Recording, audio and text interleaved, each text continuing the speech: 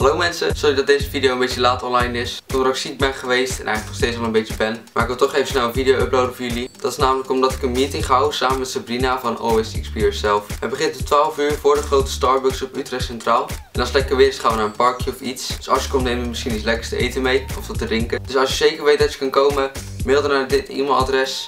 En in de beschrijving staat wat je in je e-mailtje moet zetten. En dan komt het allemaal goed, dan kan je gewoon komen. Want dan kunnen Sabrina en ik een beetje rekening mee houden hoeveel mensen er ongeveer komen. Sorry dat deze video een beetje laat online is, dat jullie niet heel veel tijd hebben om erover na te denken. Dus hopelijk zien we je daar. Abonneer even, doe een groen duimpje omhoog. En zie ik jullie de volgende keer weer. Doei!